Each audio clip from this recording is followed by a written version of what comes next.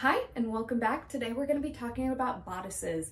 These are different ones that I wear for the Ren Fair and just have in my collection. So we're going to go from the cheapest option to the most expensive. I've got four different ones to talk about and they're all really, really different and I love them all for different reasons. I'm going to talk about them all individually and show them all styled a very similar way. So let's get started with the cheapest. Starting off with my cheap boy, this is from Windsor. I got it at my local mall and it is really cute. I love the little inset rhinestones and you can also see the plastic boning that is on the back of this corset.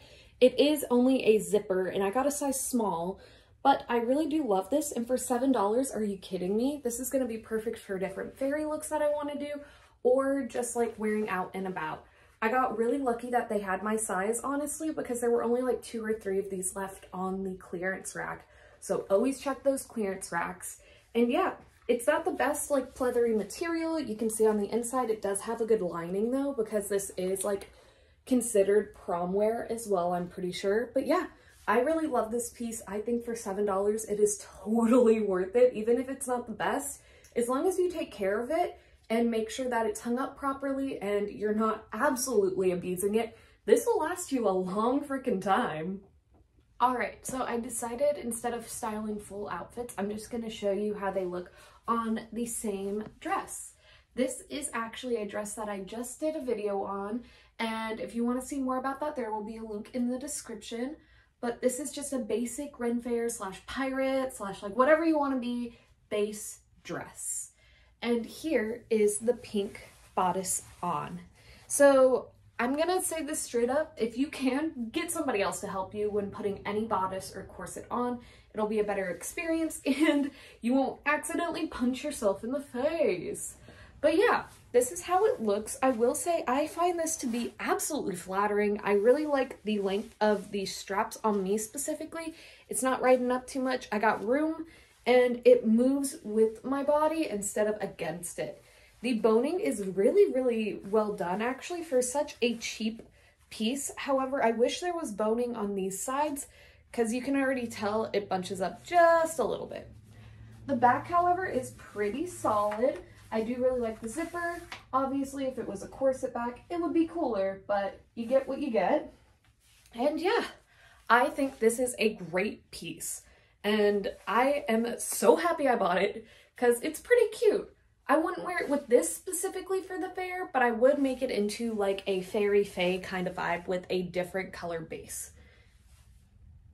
Moving on to the second tier in price, we've got my $30 corset that I got at an anime con. Again, always check the random racks. This only says current mood in it. I don't believe that was from like the actual vendor like spot, but you know, it was really cute. I believe it's a size medium or large. It doesn't have any boning in it at all, but this like front floral piece is really, really well done. You can see all that stitching is really nice and solid. I did also wear this to the Ren Fair and I had absolutely no issues at all. It does have a lace-up piece and these sides are adjustable, which I really do like. I don't know how much this is originally, but getting it for $30 seems absolutely awesome. I really do love that it has a zipper on the side as well as the corset like lace up so that it can be fully like fitted to my chest and look like really slim and sleek if I want it. But obviously it is not the best quality because it is still that pleather, but I really like it. I think for $30, it is super duper nice. No boning, but again, you get what you pay for. All right, here is the $30 bodice. So this is very difficult to get on by yourself, but I think I did a decent job. I definitely still have room back here. However, since there's no boning, I don't want to cinch it in super duper tight because I'm afraid it might mess up with the material or just be uncomfortable and not healthy for longevity. So I went with a little bit of a looser definition. These I strapped up all the way just because like I think it looks better like that. However, you can loosen it up or you can even remove them completely if you want, which I really like having that kind of option. It is a totally different layout cut here and it doesn't have that little bit there. So this part has already rolled up a couple times on me. but you can fix that by pinning it or adding boning yourself if you did want to upgrade this piece. I think it is really, really cute. The embroidery is still some of my favorite stuff on it, and I do love that it is on the sleeves as well. And like I said, I got it at an anime con, but the tag says current mood, and I'm not really sure where that's from. But yeah, I really love this piece. It's also like able to be its own like item. You don't have to wear something under it. However, with any corset or bodice, you're supposed to just to protect yourself and the actual piece. But yeah, here is the lower mid-range bodice. This is another mid-range bodice piece. I actually got this secondhand off of Facebook Market. It came with a, an entire like Ren Fair outfit. However, the owner could not tell me where this bodice piece came from, which is a little upsetting, but eventually I'll find out. So this has two lace-up parts. It's got the back and then the front. The front I did have to replace the lacing with just because this was the original and it is flimsy and it literally broke as I was trying to put it on. This also has no boning, but it does have this nice like brown velvet material on the inside if you take a little look. Really cool, and plus that pattern is gorgeous. I absolutely love the mustard yellow and everything on it. I really, really wish I knew more about this piece, but I just couldn't find anything similar at the Ren Fair this year. So if y'all have any idea on where this gorgeous piece came from, please let me know.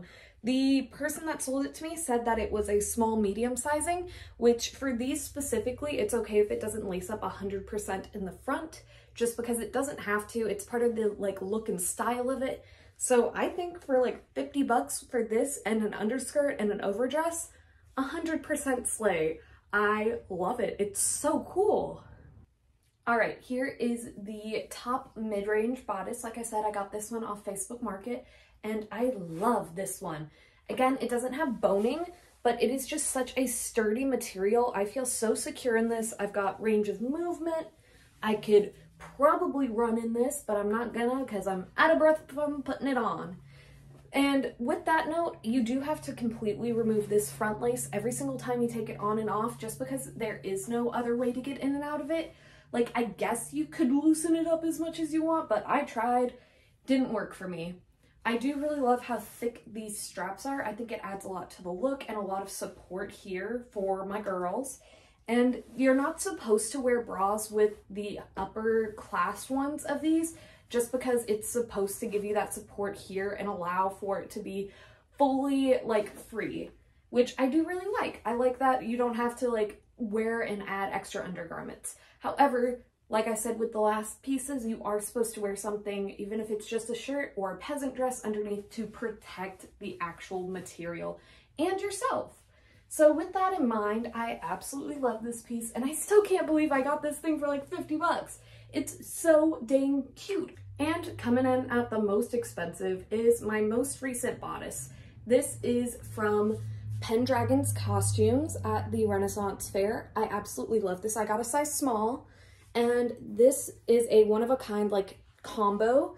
The embroidered shoulders and embroidered like chest panel were a set that I got to pick out. All of this lacing is completely adjustable as well, and there is a piece of boning in this front panel, which goes down a little bit past my belly button, and I think it is so freaking flattering. With this suede material, you do have to have specialized brushes to be able to brush it out, and you can't really get this like fully washed unless you take it to the dry cleaner, but most people just spray these kind of bodice pieces down with a vodka water mix, and that's what most people do for corsets underwear. And yeah, I absolutely love it. The more you wear it, the more it fits to you. And with these parts being interchangeable, I absolutely love it. I think this is so cool. Here is the top tier corset. I'm gonna be honest, I could not get this on and I don't have anyone to help me. So it's only laced up like three pegs just because there's literally no other way to like put this on and lace it up effectively. It sucks, but it's the reality of it. I'm to insert images of how it looks on here so that you can see it fully tightened. But just to break down the different aspects of it, all of this, like I said before, is adjustable. The straps are adjustable. These parts are interchangeable, which is awesome. And it has a longer little front piece that angles more into the belly button and has that metal piece right here. This is the only one with a steel bone in it and fully adjustable like aspects, which I really, really love. Again, I'm sorry I couldn't lace it all up on my own. It's just a really difficult task and I'm not double jointed or anything, so I couldn't do it. But I do absolutely love this one. I love the contrasting colors and I love the one-of-a-kind embroidery combo here. It is just so dang cute. With all of these in mind and showing you off how they look on me, I wouldn't say that any one of them is actually my favorite. I love them all for different reasons. They are all so unique as well. And I feel like I got really lucky scoring the first like three of them in the way that I did. But yeah, you don't need a super fancy one. It's really up to the stylistic choice that you want to wear with your bodices. You can wear them as daily wear, Ren Fair wear, or even incorporate them into your cosplay or D&D games. I absolutely love wearing them. I find myself like more confident and a little bit more sassy in them because it just slims me in a little bit without being so restricting. And yeah, I hope that this helped y'all in your Ren Fair costuming journey. And I'll see y'all next time. Bye.